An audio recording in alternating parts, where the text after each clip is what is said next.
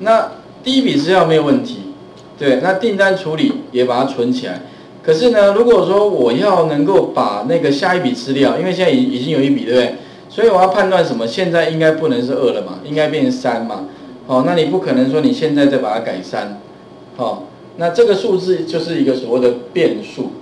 那我怎么知道说我现在在第几笔？有一个方法很简单，就是呢，你把游标放在 A one 上面，然后按下一个什么？按下 Ctrl 向下，Ctrl 向下没有？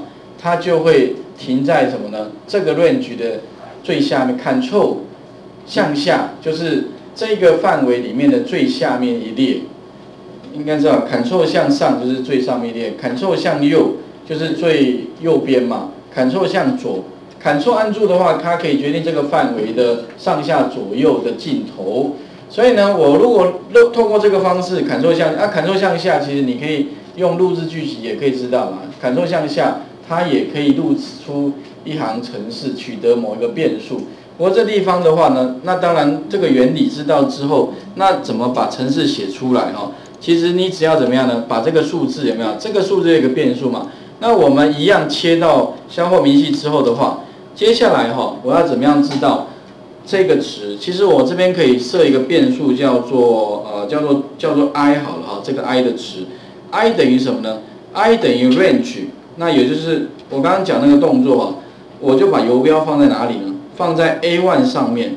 那 A one 的话，你就给它一个 A one 哈，然后点下去之后的话呢，那 Ctrl 向下这个动作哈，在程式里面表现的方法就是点 E N D End，有没有？Ctrl 向下是镜头的意思，End 哈，Enter 一下，然后呢，再再点一下 End 之后的话啊。